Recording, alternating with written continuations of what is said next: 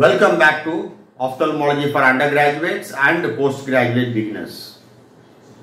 In the cataract, common questions asked in the Viva, today we are going to discuss about what is the difference between an immature cortical cataract, mature cortical cataract, hypermature cortical cataract, nuclear cataract grade 1, 2 and 3 and nuclear cataract 4 and 5. First difference we are going to discuss is the color of the lens.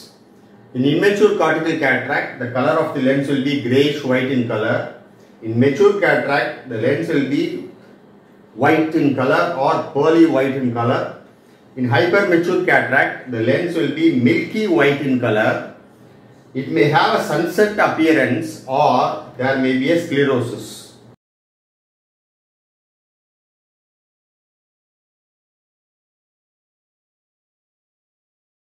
In case of nuclear cataract, depending upon the grade 1, 2 and 3, the lens may be grey or green color, it may be yellow in color or amber in color.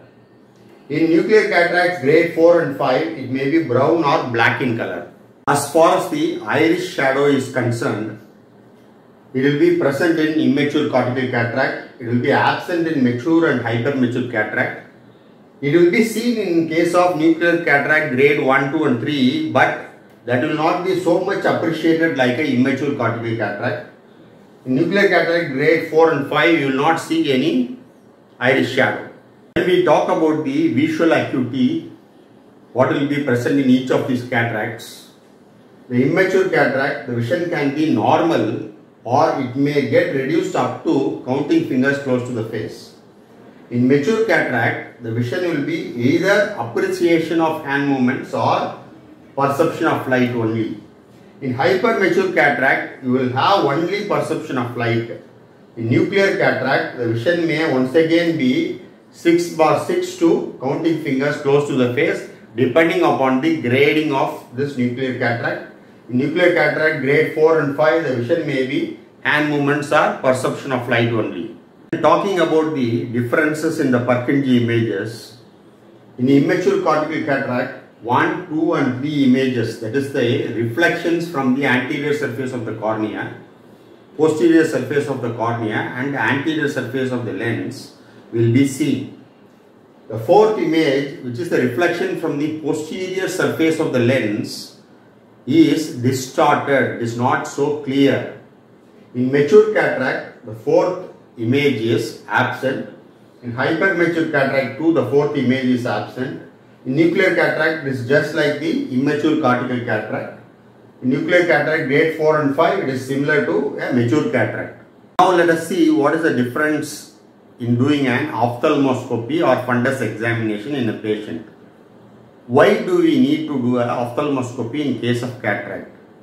We want to rule out whether the posterior segment, that is the retina, macula, optic nerve and vitreous, whether they are normal or not. In case of immature cataract and nuclear cataract grade 1, 2 and 3, fundus examination is possible. You can do an ophthalmoscopy and you can make out whether the posterior segment structures are normal or not. Only when the cataract is very dense, it is not possible.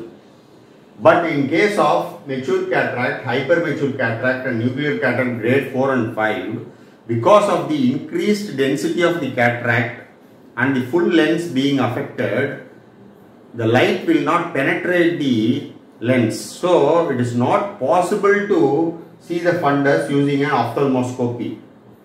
So, in order to make sure the posterior segment is normal or not, we have to do a B scan, macular function test and retinal function test in case of mature cataract nuclear cataract grade 4 and 5 and hypermature cataract. Now we are going to see three differences.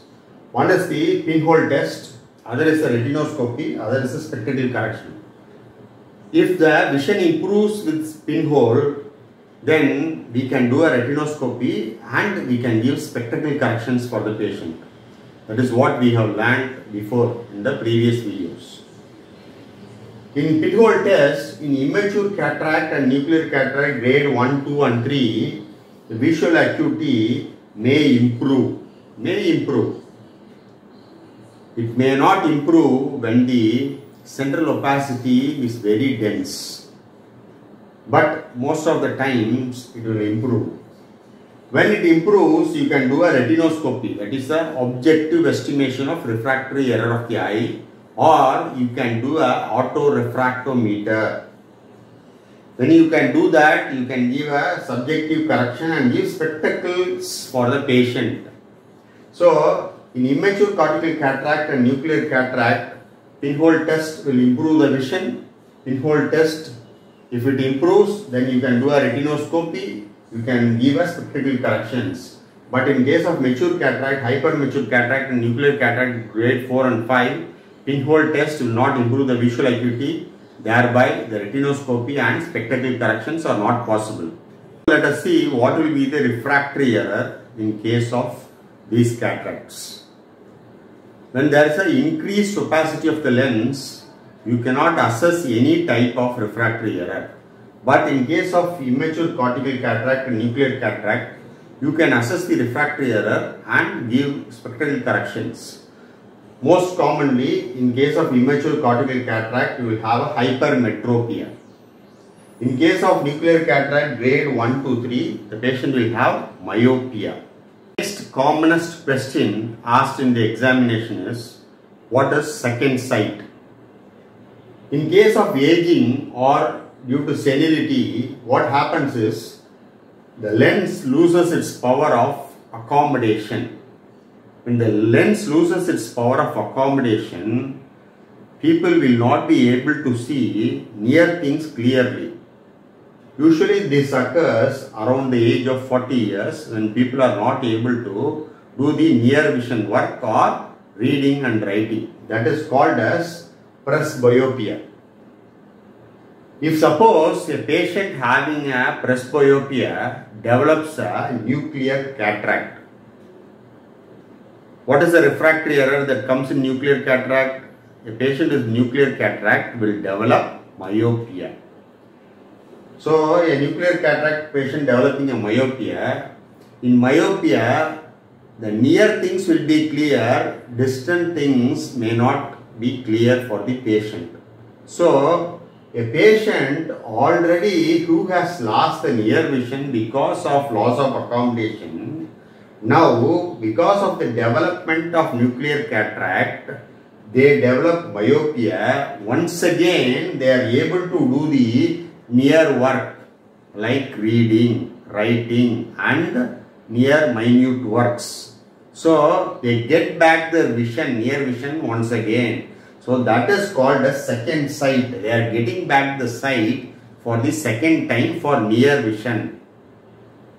But the patient will not be able to see clearly at the distance. With this, we will stop here today. We will discuss more things in the next session. Thank you.